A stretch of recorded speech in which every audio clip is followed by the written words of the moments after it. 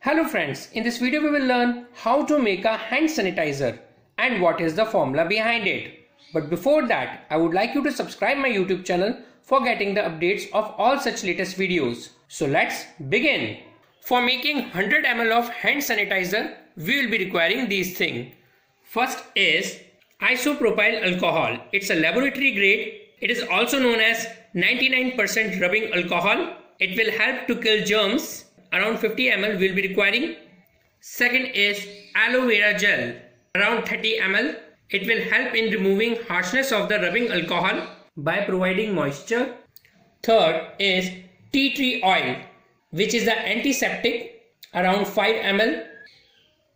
And the fourth is essential oil. We can have any essential oil which you want to add in your hand sanitizer. I am using lemon oil around 5 ml. And the fifth is glycerine around 5 ml.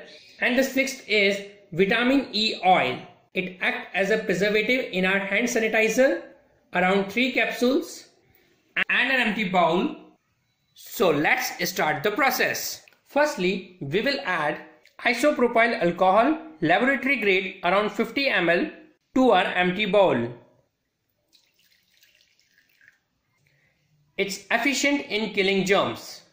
Secondly, we will add aloe vera gel around 30 ml to our bowl.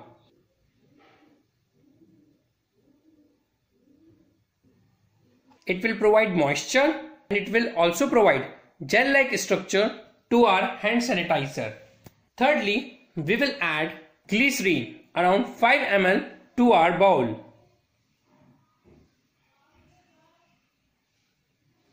Fourthly, we will add tea tree oil which is an antiseptic around 5 ml to our bowl.